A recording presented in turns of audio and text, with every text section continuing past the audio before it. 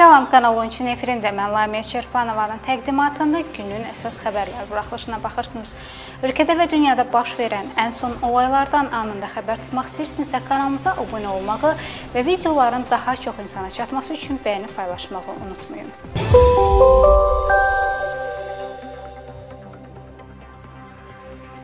Tovuzlu Taekvondo idmançısı Cavid Hüseynov torpaqlarımızın erməni işğalından azad edilməsi uğrunda gedən döyüşlərdə qəhrəmancasına şəhid olub. 2018-ci ildə Taekvondo üzrə yarışlara qatılan Cavid gənclər arasında Azərbaycan çempionu olub. Tovuz komandasını təmsil edən idmançı dəfələrlə qalib və mükafatçılar sırasında yer alıb.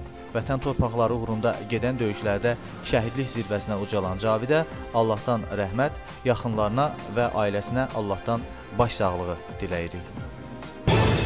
Erməni terror təşkilatı Asala və Daşnaküstün Erməni İnqilab Federasiyasının üzvü Parkev Şimavonyan bu gün səhər İrəvanda güllələnib.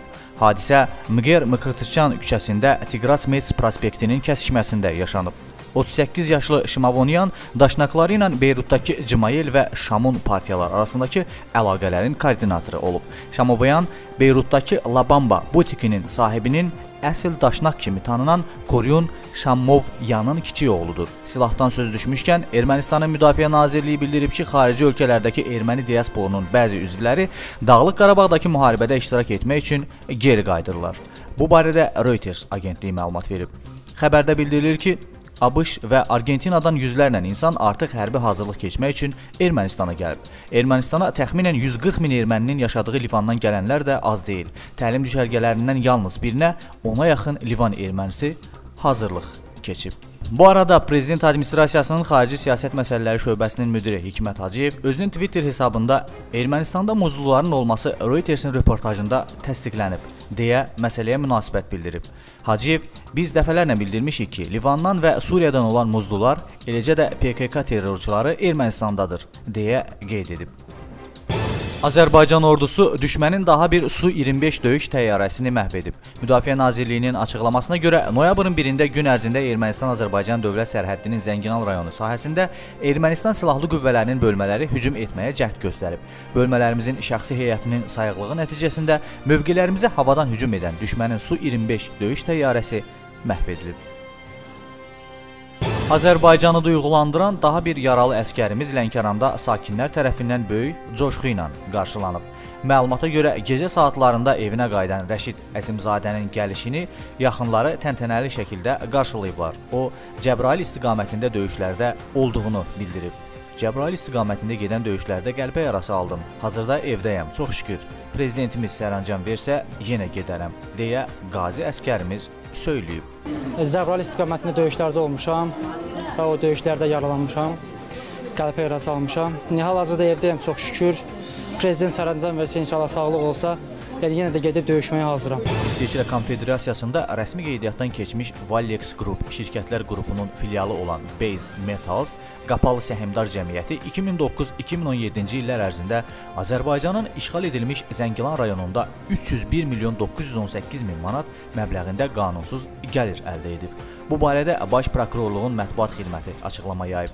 Məlumata görə Azərbaycan Respublikasının işğal olunan Laçın, Kəlbəcər və digər işğal edilən rayonlarının ərazisində erməni əsilli əcnəbi dövlətlərinin vətəndaşları olan şəxslərin ekologiya və yerin təkinin istismarının qaydalarının kobud şəkildə pozulması ilə nəticələnən qanunsuz sahibkarlıq fəaliyyəti ilə məşğul olmalar faktları üzrə Azərbaycan Respublikası Baş Prokurorluğunun İstintaq İdarəsində 21-i 10-cu ay 2015 və 30-u 3-cü ay 2018-ci il tarixlərdə Cinayət Məcəlləsinin 192.2.3 qanunsuz sahibkarlıq və 318.2-ci maddələri ilə, yəni dövlət sərhəddini qanunsuz keçmə haqqında cinayət işləri başlanıb. Baş prokurorluqdan verilən məlumata görə həmin cinayət işlərindən biri işğal edilmiş, ancaq milli ordumuzun uğurlu əməliyyatları nəticəsində son günlərdə işğaldan azad edilmiş Zəngilan rayonunun Vecnəri kəndi ilə bağlı olub. İstintaq zamanı Baş prokurorluğun İstintaq idarəsinin qərarı əsasında Azərbaycan Respublikasının Vergilər Nazirliyi tərəfindən müəyyən edilib ki, Valex Group və onun filialı olan Base Metal qapalı səhmdar cəmiyyəti Zəngilan rayonunun Vecnəri kəndində əlvan metal yataqlarından qanunsuz sahibkarlıq fəaliyyəti ilə məşğul olaraq gəlir gəlir əldə edib. Qeyd edilən cinayət faktları ilə əlaqədar Valex Group şirkətlər qrupunun maliyyə investoru İsveçrə Konfederasiyasının vətəndaşı Varten Sirmakes və rəhbəri Valeri Mejlumyan, o cümlədən həmin şirkətlər qrupuna daxil olan Base Metal KSC-nin icraçı direktoru Artur Mıkırtumyan cinayət məcəlləsinin qeyd edilən maddələri ilə təqsirləndirilən şəxs qismində cəlb edilib. Barələrində məhkəmənin müvafiq qərarları ilə qiyabi həbs seçilməklə istintaq orqanı tərəfindən beynəlxalq axtarışa verilib. Türkiyənin İzmir şəhərində baş vermiş zəlzələ nəticəsində ölənlərin sayı 79-a yüksəlib. Bu barədə Türkiyənin Fövqəladə Halların İdarə Edilməsi Agentliyi, yəni AFAD məlumat yayıb. Zəlzələdə ölənlərin sayı 79 nəfərə çatıb. Yeraltı dəkənlər nəticəsində xəsarət almış 962 nəfər xəstəxanalardan evə buraxılıb. 219 nəfərin müalicəsi davam etdirilir. Türkiyədən söz düşmüşkən, qardaş ölkənin prezidenti Rəcəb Tayyib Ərdoğan növbəti dəfə dünyaya səs salacaq açıqlama verib ölkəsinin siyasi və iqtisadi cəhətdən dünyanın ən böyüklərindən biri olacağını deyən prezident Ərdoğan ölkəsinin hədəfləri yolunda irəliləyişinə qarşı edilən kənar iqtisadi hücumlar və müdaxilələrdən söhbət açıb. Stat Millətimizin birliyini poza bilmədilər. Qurduqları tələləri pozduq. Türkiyəni qəyyumluqla əsir edə bilmədilər. Türkiyəni terrorla diz çökdürə bilmədilər. Türkiyəni çevrilişlə yıxa bilmədilər. Türkiyəyə təhdidlə mühasirə ilə, embargo ilə qandar vura bilmədilər. Türkiyəni iqtisadiyyatla da məğlub edə bilməyəcəklər. Apardığımız mübarizəni uğura çatdıranda Türkiyə siyasi və iqtisadi cəhətdən dünyanın ən böyükləri arasında olacaq. Statın sonu. Qonşu Gürcüstanda geniş miqyaslı etiraz aksiyaları başlayıb.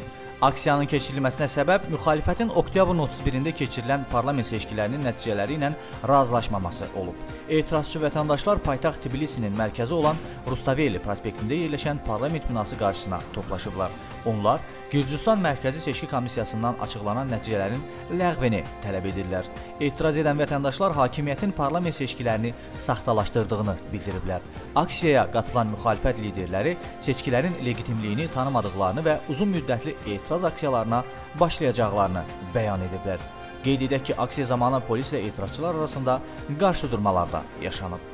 Rusiyada son sutka ərzində daha 18257 nəfər yeni növ koronavirusa yoluxub. Məlumata görə Rusiyada COVID-19-a yoluxanların sayı 1 milyon 655 min 38 nəfərə yüksəlib. Son sutka ərzində 238 nəfərin koronavirusdan öldüyü bildirilib. Bax belə bu günlük və bu saatlıq bizdən bu qədər növbəti gündə görüşmək ümidi ilə hələlik.